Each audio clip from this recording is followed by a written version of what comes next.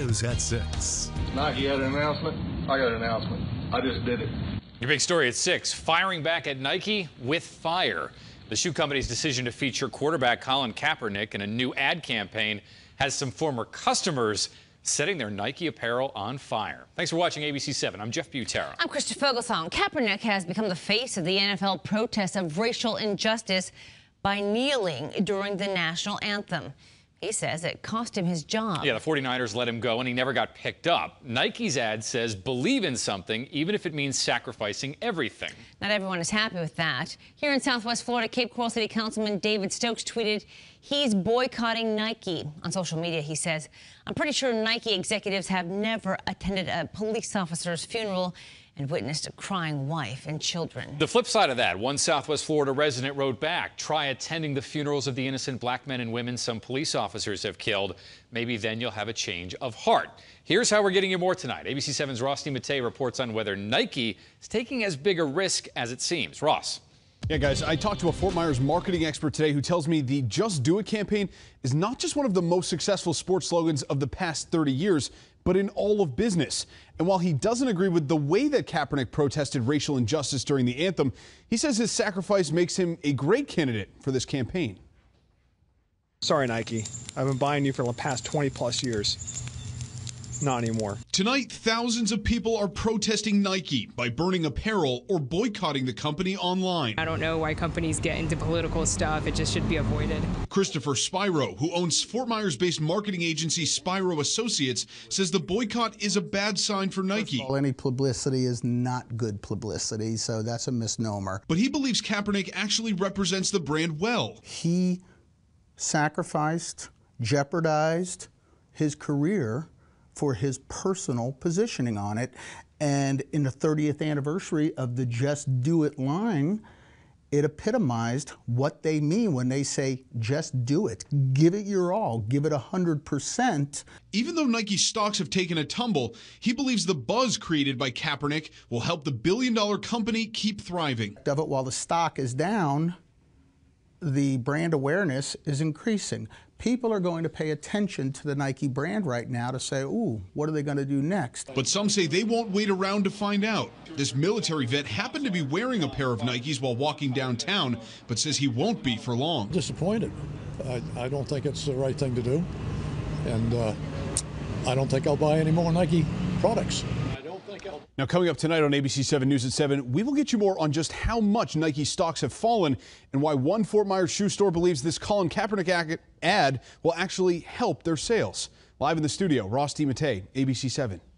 Nike has had a relationship with Kaepernick since 2011 and kept it even when he couldn't get signed with an NFL team. And using him in the new campaign is no accident.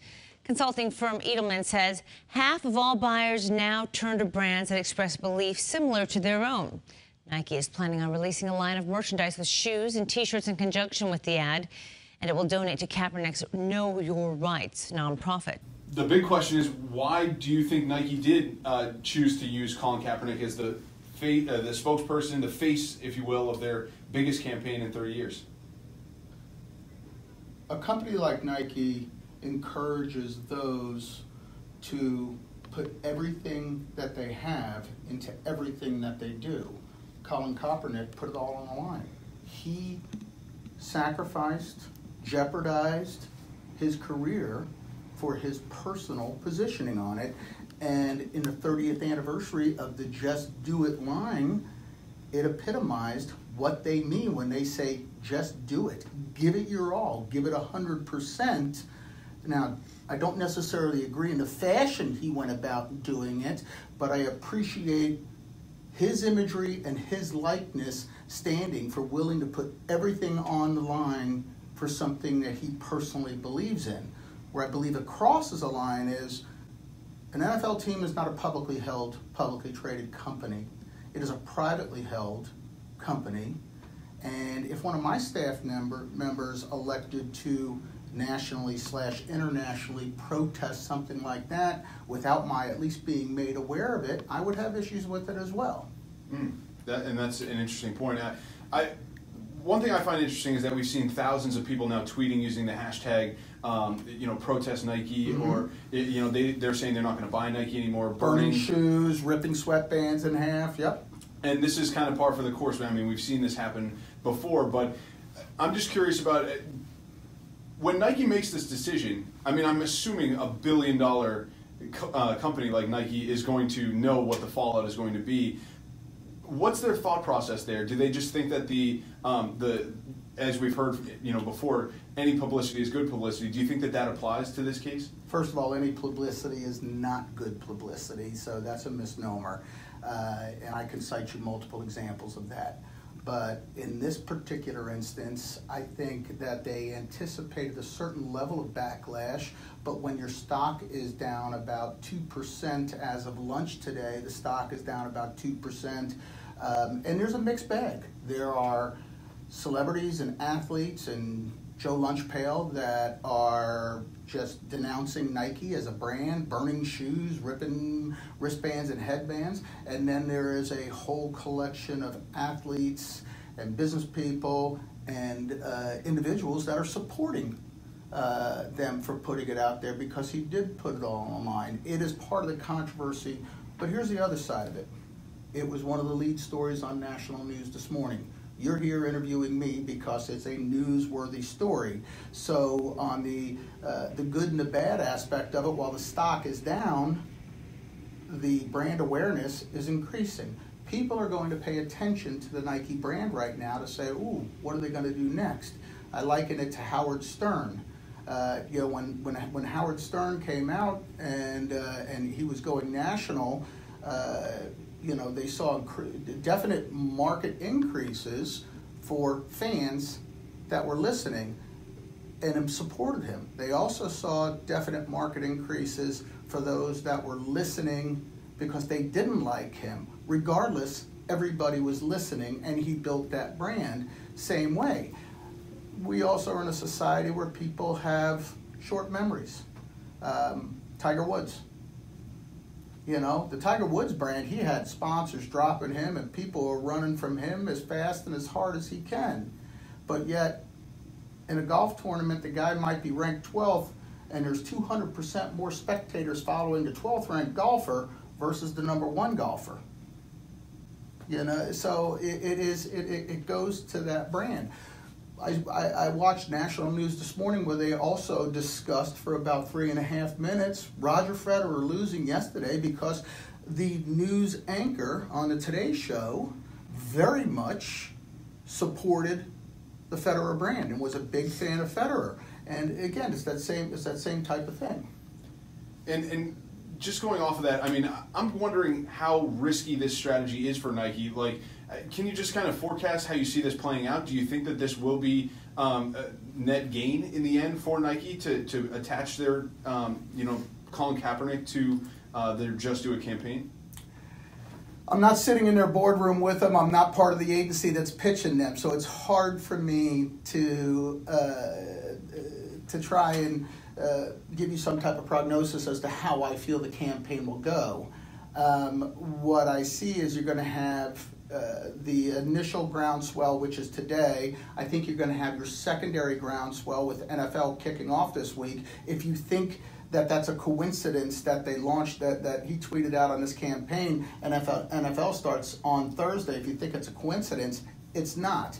He, uh, you know, waited for college football to be done. College football is now done. This comes out right on the heels of NFL launching on Thursday night.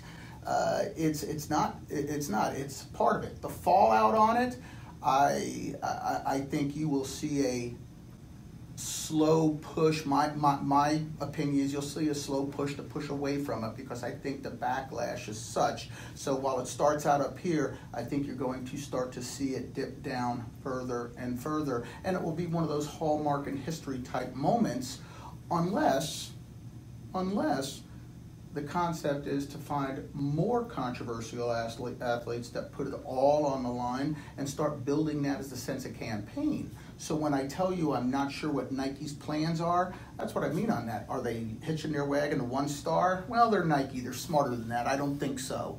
Are they going to go down in the celebration of the 30th anniversary? They're kicking off with Kaepernick because he's the most controversial, and then they're going to go to the rest that have put it all on the line to get where they want to be. Uh, that could be. I, again, I'm not their agency, though I wish I was, and if they're hiring, I'd, I'd welcome the opportunity. Um, but, you know, you, you, you take a look at people that have put it all on the line. You know, you, you take a look at people that have gone to the nth degree for what they believe in, whether it be their writing, their music, uh, their athletic ability, uh, they put it all on the line.